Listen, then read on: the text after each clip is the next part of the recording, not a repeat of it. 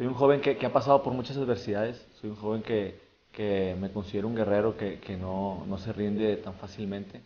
Yo en dos ocasiones tuve cáncer, soy sobreviviente de cáncer, un cáncer de hueso que, lo que hizo fue que me, me detectaran en, la pelvis, ¿no? Y lo que hizo fue que me quitaran la pelvis. Es raro, ¿no? De repente era una, una persona pálida y, y, y, sin pelo. Y yo siempre lo trataba de ver con humor, decía que, que, le, que le había apostado a los tigres, era cuando los tigres iban mal.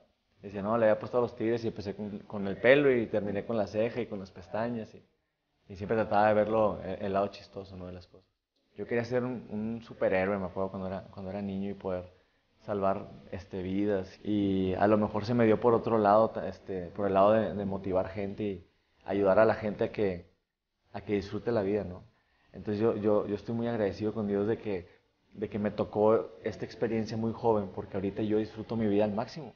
Este, a mí no me estaban diciendo que me, que voy a morir, me están diciendo que tengo una enfermedad, pero que si quiero, que si quiero seguir con vida tengo que luchar.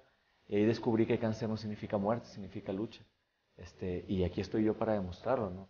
En Monterrey este, había una persona que, tenía su sueño de, de, de, jugar fútbol. Hablamos con un equipo de Sinaloa que juegan en muletas y, nos dijeron que podemos hacer un equipo en Monterrey. Entonces pusimos manos a la obra, éramos como cinco personas y empezamos a organizar el equipo.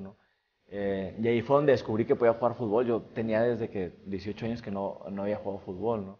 Y estos chavos me pusieron el ejemplo que pues, con muletas se podía. Tengo el gusto de poder decir que tengo amigos jugadores, como el caso de Hugo Ayala, que, que me ha apoyado a mí desde, desde el principio, este, Jorge Torres Nilo, Enrique Palos, Fernando este, Fernández, que es el nuevo jugador de, de, de, Tigres. Hugo Ayala lleva haciendo esto desde hace como seis años que empecé con la fundación.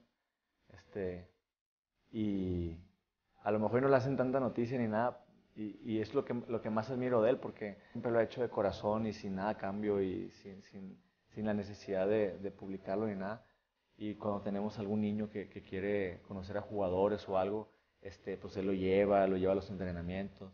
La verdad es de que es una persona de, de gran corazón y, este, y con una gran familia. La Defensa, yo era lateral izquierdo y no, mi, mi, pasión siempre fue el fútbol.